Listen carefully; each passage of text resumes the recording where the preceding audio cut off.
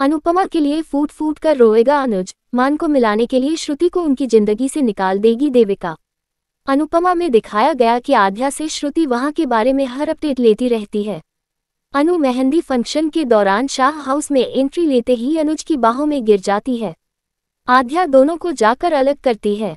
Function में अनु और अनुज आध्या को लेकर अच्छी बातें करते हैं। देविका भी वहाँ मौजूद रहती है और वो आध्या को कुछ मैनर्स सिखाने का फैसला करती है। अंश अनजाने में अनु के हाथों में मेहंदी से अनुज का नाम लिखा देता है। अनुपमा के लिए फूट फूट कर रोएगा अनुज। आध्या, अंश की इस हरकत पर उस पर काफ़ी भड़क जाती है। अंश उससे कहता है कि उसे इस बारे में कुछ पता नहीं। अनुपमा अपने हाथ से मेहंदी हटाने की कोशिश करती है, लेकिन वो नहीं हटता।